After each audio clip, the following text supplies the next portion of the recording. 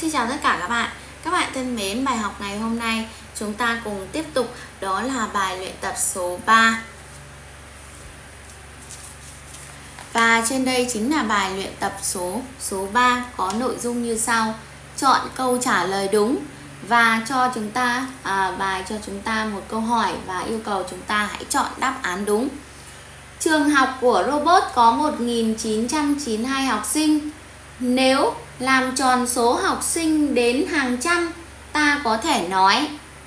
Trường học của robot có khoảng A 2.000 học sinh B 1.950 học sinh C 1.900 học sinh và D là 1.000 học sinh. À tức là ở đây chúng ta à, bài toán đã làm à, làm tròn.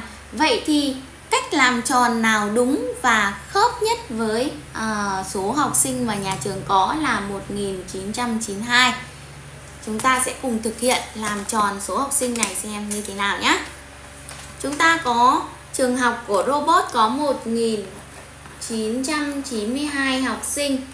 Vậy đầu tiên để làm tròn ở đây thì chúng ta có các đáp án là 2000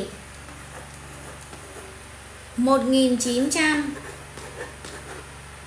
1950 và 1000 Số đầu tiên là làm tròn lên tận hàng nghìn đúng nào? 1000 lên tận 2000 Tiếp theo số thứ hai là 1900 Ở đây thì làm tròn đến hàng à, hàng trăm.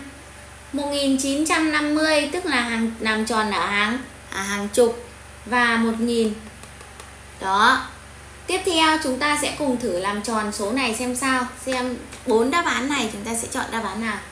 1992 nếu làm tròn đến hàng chục, Thì chúng ta so sánh 2 là nhỏ hơn 5 Nên chúng ta làm tròn xuống. Làm tròn xuống thì là ta sẽ được 1990 Đây là làm tròn xuống.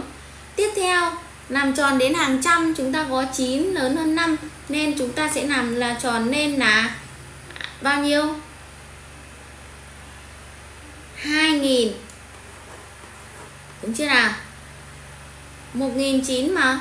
1990 làm tròn lên 9 thì làm tròn lên thành à, 1000 Vậy chúng ta được làm tròn lên là 2000 Vậy chúng ta sẽ chọn đáp án nào? Ở đây làm tròn đến hàng chục là 1990 Ở đây 1950 À vậy là không khớp. Vậy chỉ còn đáp án duy nhất làm tròn à, làm tròn đến hàng trăm đó là đáp án A 2 2000 và chúng ta sẽ khoanh tròn vào đáp án A làm tròn đến hàng trăm 2000 học sinh.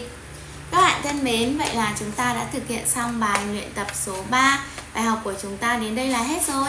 Các bạn hãy like video và đăng ký kênh cho mình nhé. Xin chào và hẹn gặp lại các bạn.